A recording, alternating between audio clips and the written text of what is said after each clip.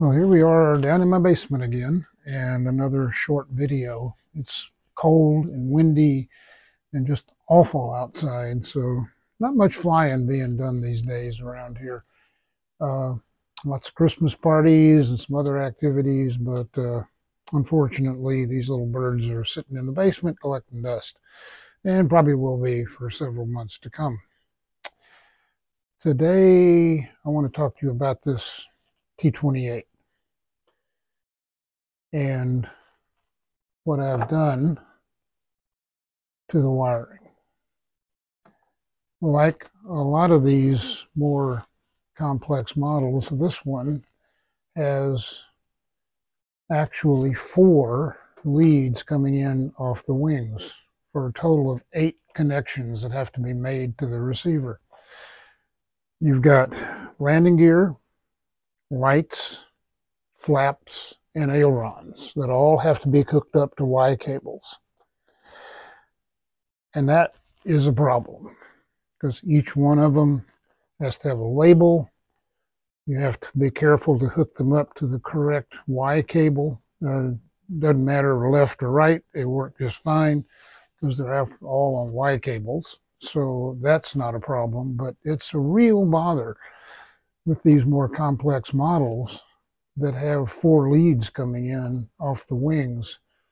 If they don't have the wing plugs, like some of the, like my Cherokee, for example, uh, or my Cessna 150, if they don't have the, the, the plugs on the ends of the wings and in the fuselage where when you put the wings on, everything gets plugged in automatically, which, by the way, that solution also has some issues of its own, as I've found, that have required some cable replacements. But anyway, uh, just want to suggest that there is an easier way to do this. Even if you've only don't have the lights, for example, and you only have three leads coming in for gear, flaps, and ailerons, this is still a good solution.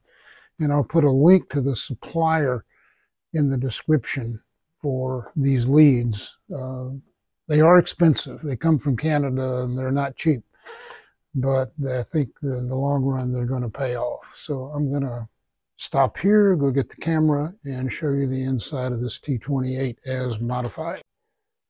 So holding the camera here, here, right here are the ends of the Y connectors into this AR637T, which by the way I dearly love, and also there's the GPS.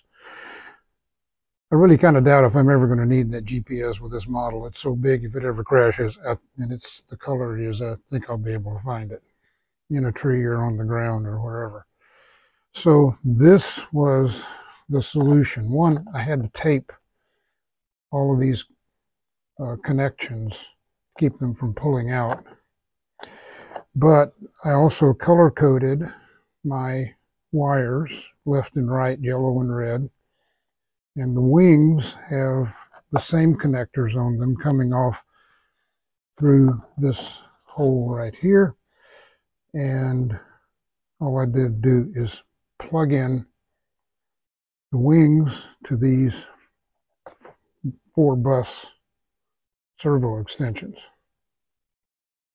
Color coded. It takes all of two or three seconds to plug them in. I also, on the wings, had to tape these servo leads together because they were separating when I tried to actually pull them up through here. I was having problems with the uh, servo uh, extensions disconnecting from the leads coming off the wings. And uh, but a little bit of masking tape will fix that.